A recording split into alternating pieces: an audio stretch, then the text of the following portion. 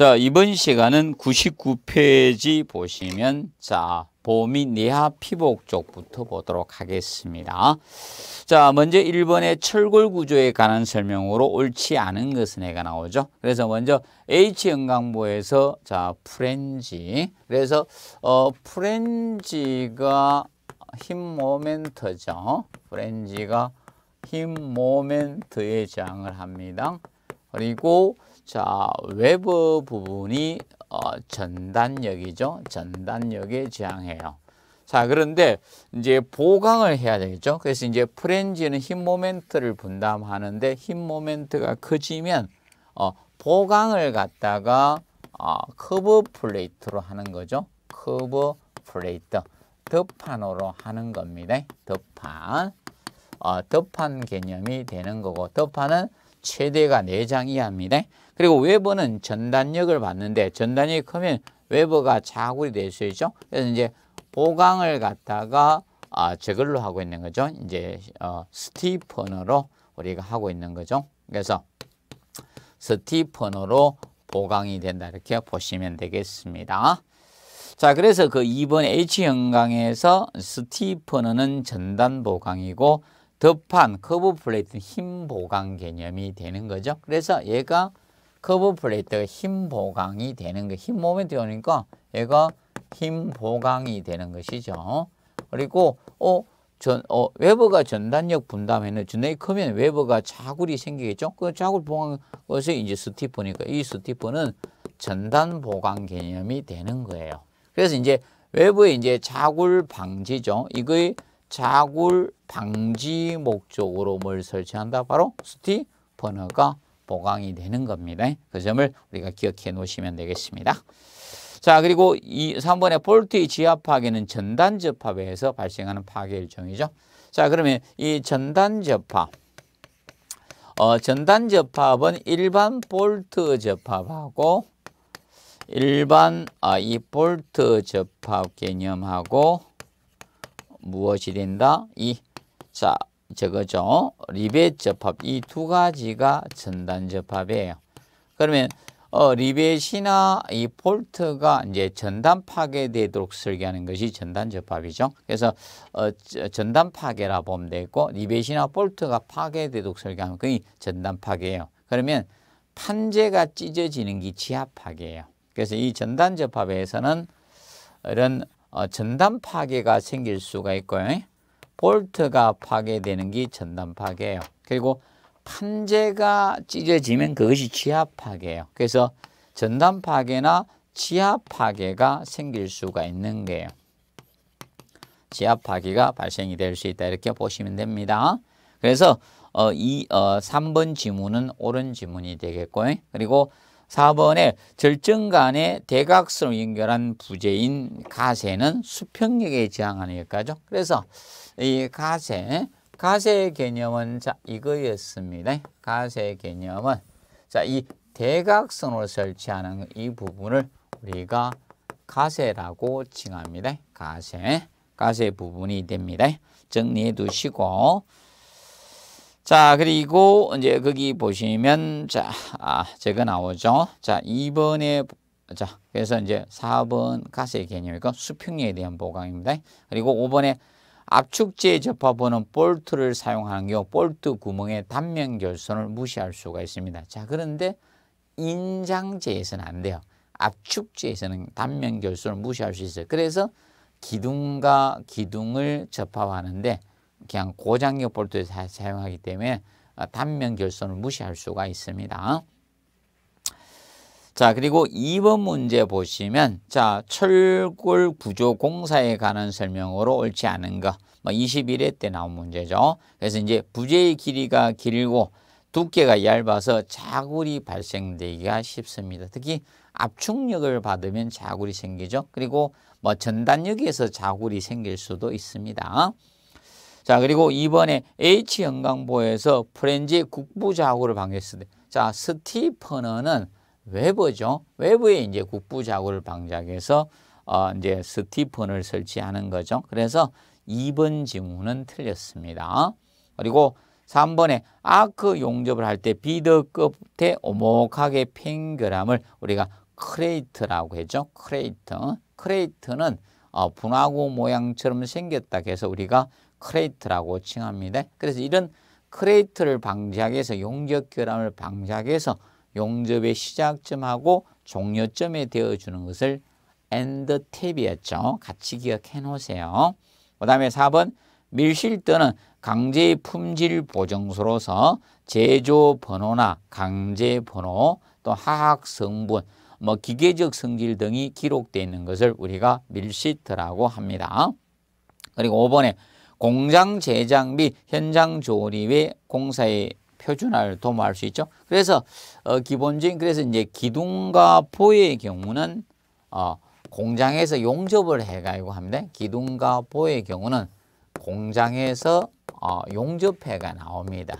공장에서 용접 접합을 하고요. 그리고 현장에서는 어, 이게 기둥과 기둥이나 이런 보하고 보의 경우이죠. 보와 보를 갖다가 어, 현장에서 고장력 볼트로 조립하는 거예요. 현장에서 이 고장력 볼트로 조립을 하고 있는 거예요. 고장력 볼트로 이제 접합을 하고 있는 개념이다. 이렇게 보시면 됩니다. 자, 그리고 이제 3번 문제 보시면 3번에 자, 다음 중 바닥 슬래브와 철골 보관에 발생하는 전단력에 저항하기 위해서 설치하는 것이 바로 1번의 cover plate는 덮판이었죠. cover plate.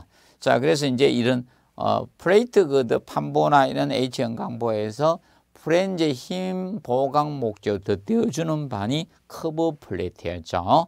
그리고 stiffener는 저기 있습니다. web의 좌굴 방지 목적으로 자 우리가 이제 전단 보강 목적으로 이제 수직으로 설치하는 것이 stiffener였죠. 그리고 여기에서 철골 바닥 슬래브 철골 보관이라는 것은 결과적으로 합성보를 의미하고 있죠. 그래서 지금 현재 바닥판이 이렇게 있었어요. 슬래브 바닥판이 있는데 자 우리가 철골보의 플랜지하고 자, 일체하게 해서 연결해 주는 우리가 자, 철물을 사용하는데 이때 이 연결 철물을 shear connector라 했죠. 연결 어제. 그래서 시어는 전단이죠. 그래서 얘가 수평 전단력을 받아요. 그래서 이것을 시어 커넥터라고 했습니다. 시어 커넥터. 뭐 우리나라 말로 하면 전단 연결제였어요. 이것이 전단 연결제 개념이 되는 거죠. 전단 연결제, 시어 커넥터, 전단 연결제 개념이 됩니다. 그래서 이제 시어 커넥터 하면 합성보를 기억하시면 되는데 합성보. 그래서 어, 바닥판하고 철골보를 일치하기 위해서 사용하는 연결 철물인데 자, 이 바닥판이 움직이면 이 철물이 수평 전단력을 받아요. 거기에 대한 저항하는 거라서 시어 커넥터 이렇게 칭하고 있다는 점 기억하시면 됩니다. 그리고 4번의 텀버클은 인장제를 자 조이거나 풀 때 쓰는 게 시어 텀버클이었죠. 그리고 프렌지는 어 이제 상하의 날개처럼 내민 부분이 H 형광이나 I 형광에서 상하의 날개처럼 내민 부분이 어 프렌지였고요. 그래서 3번은 3번이 정답 되겠습니다. 그리고 4번 다음 중 철골 구조의 플레이트보, 판보죠. 중간 스티픈을 사용하는 가장 주된 목적 해놨습니다. 자, 그러면 기본적으로 이거죠. 어, 알아두실 것이, 어, 이제 여기에서는 저것이 되겠죠. 그래서, 어, 3번의 외부 플레이트의 자굴 방지 목적으로, 어, 이제 중간 스티픈, 스티픈을 대게 됩니다. 그런데 여기에서 이제 주의할 거는 5번하고 헷갈리면 안 돼. 프렌즈의 힘 모멘트 보강. 그래서 2번이 스티퍼너고요. 스티퍼너고. 자, 5번이 바로 cover plate 덮판이죠. cover plate 덮판 개념이 되는 겁니다. 그래서 두 개 구분을 좀 해 두시면 되겠습니다. 정리해 두시고. 자, 그 다음에 이제 그 5번에 보시면 자, 판보 plate girder에서 자, 리벳이나 볼트로 접합된 플랜지의 cover plate의 최대 수는 아, 4장입니다. 4장. 그리고 단면적은 플랜지 단면적의 70% 이하로 우리가 해주면 됩니다. 그래서 3번 개념이 되겠습니다. 그리고 6번에 자 plate girder 판보의 일반적인 거동에 관한 설명으로 옳지 않은가. 자 plate girder는 판을 갖다가 뭐 용접이나 아, 또는 이렇게 flange plate가 있고 자 web plate가 있을 때 용접을 해도 되고요. 아니면 형강을 대고 어, 고장력 볼트로 최근에 조립을 하죠. 이렇게 해서. 그러면 이제 어, plate girder는 교량 같은 데 많이 쓰는 거야. 교량 같은 데. 그래서 이제 높이 춤이 높아요. 이게 춤이. 이 높이가 폭보다는 춤이 높은 거예요. 높이가. 예. 그래서 알아두실 것은 먼저 1번의 춤이 깊은 보의 거동, 거동 움직임이 이 춤. 높이가 춤이에요. 보에서 이 춤을 갖다가 아, 이제 보통 높이를 춤이라게 높이를. 그래서 깊은 보의 움직, 거동을 나타냅니다. 그래서 이제 수직 수평 스티프너를 사용할 수 있고 자 이렇게 수직으로만 스티프너가 되어지는 게 아니다. 춤이 아, 이 크기 때문에 이 수평 스티프너가 갈 수가 있다는 게 수평 스티프너. 그래서 여기에 이렇게 수평으로 어, 스티프너가 이렇게 보강이 되는 경우도 있어요. 이렇게 예. 수평으로 이렇게 스티프너가 이렇게 보강되는 경우도 있어요. 수평으로 갈 수도 있어요. 그래서 수평 stiffener가 있을 수도 있습니다. 그래서 plate 반복 컬리 어, 이제에서는 기억하시고 그다음에 3번 주로 용접으로 얘기를 제작하죠. 용접으로 하는 경우도 있고 아니면 고력볼트 사용해서 이제 여기 형강을 대고 제작을 조립할 수도 있죠. 그리고 4번에 전단에 의한 flange 국부 좌굴이 지배적이다 해서 되죠. 자, 국부자굴은 이거죠. 이 웨버가 국부자굴이 되는 거고 자 프렌지는 아래에 두게 힘을 받으면 한쪽이 인장 한쪽이 압축력을 받아요. 프렌지는 프렌지는 인장 어, 힘에 의해서 한쪽이 인장 한쪽이 압축을 받게 된다 이렇게 보시면 되고 그리고 웨버가 전단력에 지지하는 거예요. 혼돈하지 안 되죠. 그래서 4번 지문이 틀렸습니다. 그리고 5번에 자 전단 강도는 web의 폭 두께에 비하고 자 web의 이제 폭 두께에 비가 영향을 주겠죠. 그리고 어 이제 거기 보시면 제가 놨습니다. 중간 stiffener 간격 이걸 얼마나 설치해 주냐에 따라서 영향을 받게 되는 겁니다. 자 그리고 이제 7번 문제 보시면 다음 중 철골 기둥의 주각부에 사용하는 보강제 거리가 먼 거? 자, deck plate는 바닥판의 거푸집 역할을 한다겠죠? 자, 이런 형태. 골 모양, 강판을 골 모양으로 접어놓은 것이 이게 deck plate죠. 그래서 바닥판에 거푸집 역할을 하는 거예요. 얘는 주각이 아니죠. 자, 주각부라는 것은 기둥의 응력 기초로 전달하는 법. 쉽게 기둥과 기초가 맞닿는 부분이 주각부예요. 사람으로 치면 발목 부위가 주각부죠. 그걸 연상하시면 된다. 자, 그래서 deck plate는 바닥판과 관련이 있죠. 주각부와 관련이 없는 거예요. 근데 base plate나 wing plate, side angle, clip angle 이런 관계가 있죠. 그래서 명심해 두시면 되겠습니다. 자, 그리고 8번에 철골 구조의 내화 피복 공법으로 옳지 않은 것 해가지고 나왔죠. 그러면 보통 어 이제 공법상 자 이거 있죠.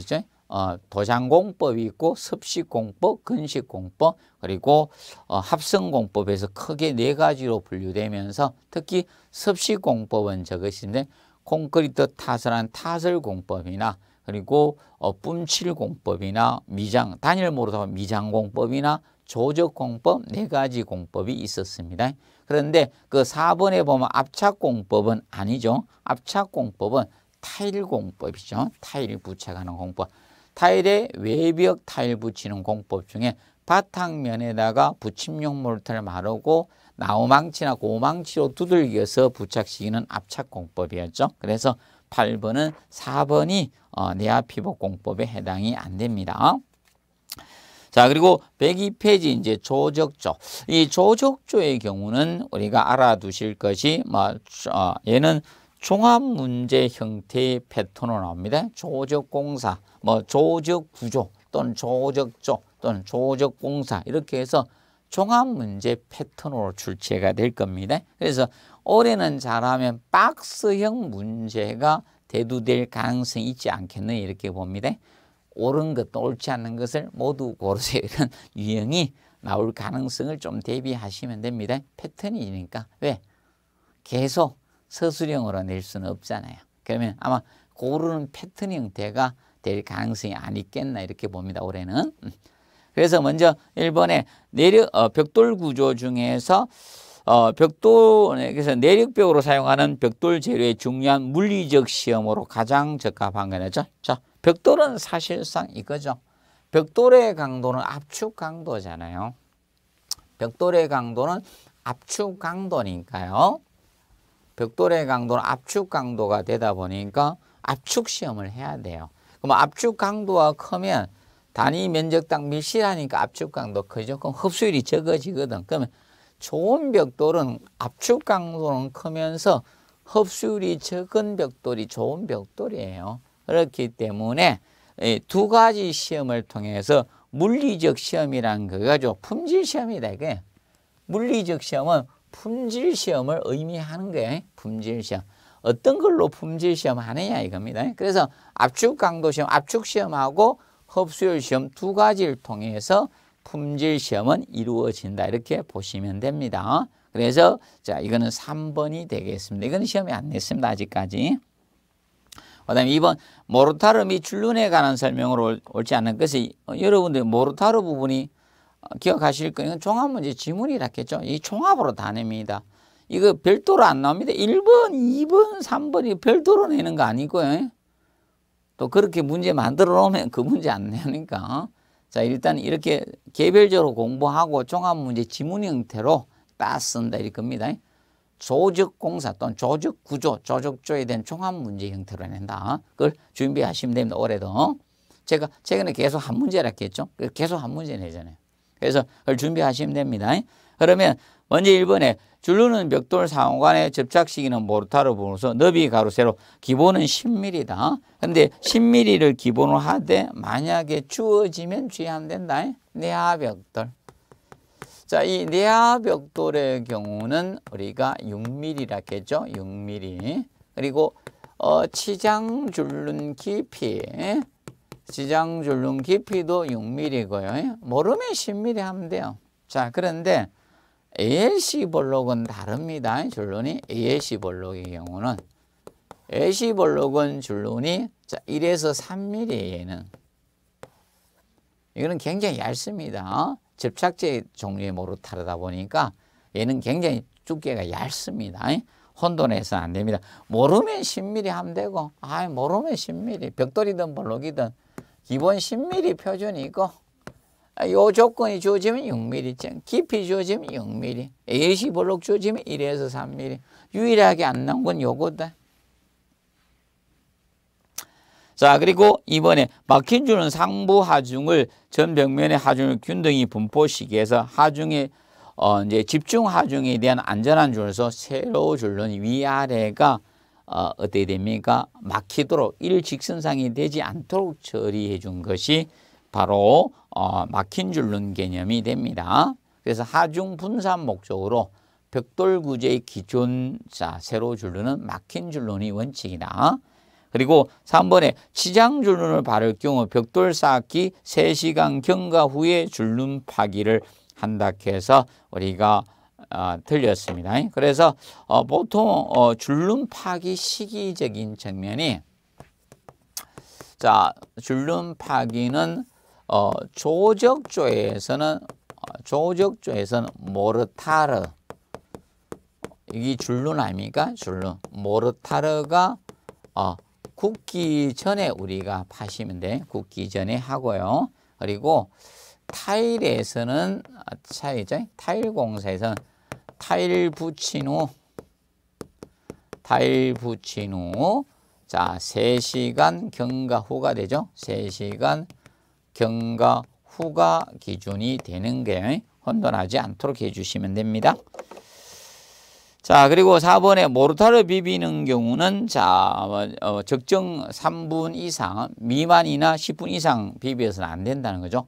어, 적게 비비면 재료가 섞이지가 않아요. 그리고 장시간 비빔하면 재료 분리가 생겨요. 그래서 적정 시간 비벼주자 이 뜻입니다. 그리고 5번 어떠한 경우도 물을 2시간이 뭐 지난 모르타를 사용해서 안 됩니다. 그러면 모르타르 사용 시간은 각각 틀려요. 이 어, 모르타르 사용 시간은 어, 그 위치에 따라 차, 사용 시간이 다른데 자, 이 조적조는 기본이 벽돌이나 블록조는 2시간이에요. 2시간이 기본입니다. 그런데 A, A, 어, ALC 블록만 차이가 있어요. ALC 블록에서는 어, ALC란 경량 기포콩의 ALC라고 ALC 블록에서는 우리가 1시간 개념이 되는 겁니다. 그리고 미장공사 우리가 미장공사 쪽에서도 기본이 2시간이에요. 시멘트 모르던 2시간이에요. 그런데 예외가 단열 모르타르에 단열 모르타르는 1시간이에요. 1시간 개념이 되고 그다음에 모르타르 사용 시간에서 어, 타일에서는 두 가지로 나눠요. 타일 공사에서는 어, 건비빔하고 손, 어, 물비빔 두 가지로 나눕니다. 그러면 건비빔은 어, 모래와 시멘트만 비비는 게 건비빔이죠. 이때는 3시간 이내에 사용하면 돼요. 그리고 물비빔은 1시간 개념이 되는 겁니다. 1시간. 자, 그리고 자, 이겁니다. 방수.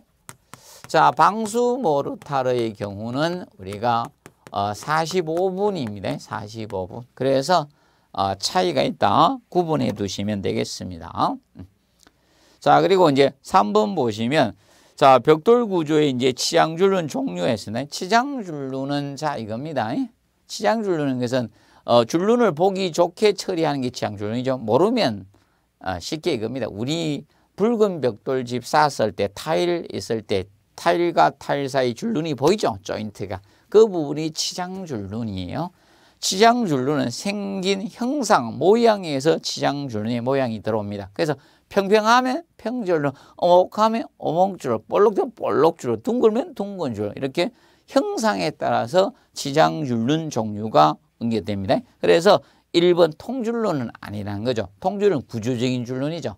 자, 세로 줄눈이 일직선상이 어, 되지 않도록 막히게 쌓인 것이 막힌 줄눈이고 하중 분산 목적이죠. 그런데 통줄눈 일직선상이 됐기 때문에 하중 집중 현상이 생길 수 있는 것이 통줄눈 개념이 되는 겁니다. 그래서 봐두는데 근데 이 중에서 구조적이나 방섭상 가장 유리한 줄눈은 빗줄눈 개념이 된다는 점을 우리가 알아두시면 되겠습니다. 그리고 지장줄눈에서 그래서 104페이지 보시면 자, 지장줄눈에 관한 설명으로 옳지 않은 것 해가지고 나오죠. 자, 벽돌 벽면에 의장적 효과를 주기 위해서 하는 것이 바로 치장줄눈 개념이 됩니다. 자, 그리고 이번에 지금 바로 이렇게 줄눈은 자, 파기를 해야 되죠. 그럼 줄눈 파기 시기는 모르타르가 굳기 전에만 해주면 된다. 시간이 나오면 틀려요. 타일에서 3시간 경과 후가 되는 겁니다. 주의해 주시면 되겠고요. 그 다음에 어, 3번에 취향줄 눈을 벽돌 벽면을 청소하고 이제 공사 지어 빠른 내에 우리가 빈틈없이 발라주면 되겠죠. 그리고 4번에 지향줄눈 깊이는 6mm가 표준입니다. 6mm. 자, 기억하십시오. 줄눈은 모르면 10mm, 내화벽돌 6mm, 지향 깊이 6mm, ALC 볼록은 1에서 3mm라고 했습니다. 그리고 구조적 방수상 가장 유리한 것은 빗줄눈이라 했죠.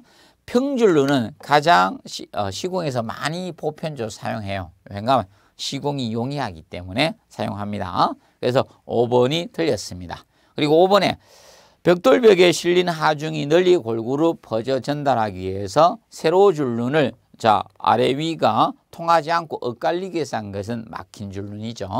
어, 2번 개념 되겠고요. 자 그리고 길이 쌓기, 세워 쌓기 이런 걸막 외우실 필요는 없습니다. 자, 이걸 벽돌이라고 치면 길이가 쌓으면 길이 쌓기입니다. 그러면 이 면을 마구리라 했죠. 마구리가 쌓으면 마구리 쌓기. 그러면 세워 쌓기. 그러면 옆세워 쌓기 개념이 됩니다. 자, 6번. 재료의 취급 및 보관 준비에 관한 설명으로 옳지 않은 것. 자, 여기에서 이제 잘 정리해 두실 것이 바로 무엇인가 하면 자, 4번, 5번이에요. 4번에 보면 모르탄 다시 비벼 쓸 수는 있어요. 그런데 이미 경화가 되기 시작한 모르타르 그라우트는 우리가 다시 사용해서는 안 됩니다. 그 점을 꼭 기억하시고 5번 어떠한 경우 처음 물을 넣고 놓자 모르타르는 기본 2시간이라 했죠. 모르타르 조적주에서는 2시간이 모르타르는 그라우트는 어, 우리나라 말로 하면 쉽게 하면 사춤이 채워주는 거예요. 그라우트가 채우다는 뜻 아닙니까? 영어로. 그라우트. 그래서 이, 이 그라우트의 경우는 한시간이 기준입니다. 모르타르는 두시간 그라우트가 한시간입니다 자, 그리고 7번 문제 보시면 자, 벽돌 쌓기 특징에 관한 설명으로 옳지 않은 것은 해가지고 나옵니다. 그러면 어 먼저 1번 영식 쌓기. 영식 쌓기는 한 켜는 길이 쌓기, 그 다음 켜는 마구리 쌓기로 번갈아서 쌓으면서 통줄론을 방자해서 모서리에서 두 번째 벽돌을 이오 토막이나 반절을 쓴 방식으로서 통줄론이 생기지 않는다. 근데 구조적으로 가장 튼튼한 쌓기가 영식 쌓기라 했습니다. 그리고 하란식 쌓기는 어 뭐 영식 쌓기가 하나는 길이 마구리 번갈아 쌓는데 모서리 부분에 7호 토막을 사용해서 어, 균열을 방지한 방식이 하란식 쌓기로서 모서리가 견고한 방식이다. 그러면 영식이나 하란식 쌓기는 통줄눈이 발생하지 않습니다. 그리고 어, 불식 쌓기는 어, 같은 한 켜에서 길이하고 마구리가 계속 번갈아서 나오는 방식이 자 우리가 불식 쌓기입니다. 근데 불식 쌓기는 부분적으로 통줄운이 발생하기 때문에 어, 구조적으로 취약합니다. 그런데 외관은 아름답습니다. 그래서 의장적 장식적인 경우에는 불식사키를 많이 사용하지만 힘을 받는 내력벽에는 좀 부적합하다 이렇게 보시면 돼요. 그래서 이제 기억하시 그래서 4번 개념이 틀렸습니다. 통줄운이 부분적으로 발생하는 것이 바로 불식사키 개념이 됩니다. 자 그리고 8번 문제 106페이지 벽돌 쌓기에 관한 설명으로 옳지 않은 것은 해가지고 나옵니다. 그래서 먼저 영식 쌓기는 구조로 가장 튼튼한 방법이라 했죠. 모서리가 경관 방식은 하란식이다. 그리고 이번에 하란식 쌓기는 벽돌 쌓기 상대 모서리가 경관 쌓기 방식이다. 근데 둘 다 공통점은 영식 쌓기나 하란식 쌓기는 통줄론이 발생하지 않는다는 것 이것을 꼭 명심해 두십시오. 자 그리고 3번에 벽돌조 벽체의 강도의 영향을 인장 강도 및 흰 강도 영향을 미치는 건 아니죠. 자 벽돌의 강도는 압축 강도예요. 벽돌은 압축 강도예요. 압축 강도. 항상 기억하십시오. 어, 모르타르의 강도는 부착 강도고요. 모르타르는 부착 또는 뭐 접착이라 쓸 수도 있죠. 접착. 그래서 혼돈하지 않도록 주의해 주시면 되겠습니다. 기억해 두시고 그래서 3번 지문은 틀렸습니다. 그리고 4번에 벽체 중간에 공간층을 두어 쌓는 가장 중요한 목적은 방섭이죠. 방섭이나 방음, 단일, 방암, 방서 목적으로 중간에 공간을 두어요. 근데 공간 쌓기에서 어, 별도로 정함이 없으면 바깥쪽 벽을 주벽체로 봐줍니다. 그리고 내하 벽돌은 물축이지 않는다. 얘는 내하 모르타르로 우리가 쌓기 때문에 또는 흙으로 내하 점토로 쌓기 때문에 물축임을 하지 않습니다. 그런데 붉은 벽돌은 쌓기 하루 전에 호수로 충분히 물축여 주면 된다. 근데 콘크리트 벽돌, 시멘트 벽돌은 어, 쌓기 직전에는 물을 죽이지 않습니다. 그 점 같이 공부해 놓으시기 바랍니다. 그래서 이번 시간에는 뭐, 요 벽돌 쌓기까지 정리를 하고요. 뭐, 다음 시간에는 어, 벽돌 구조 부분부터 우리가 진행하도록 하겠습니다. 어, 수고하셨습니다.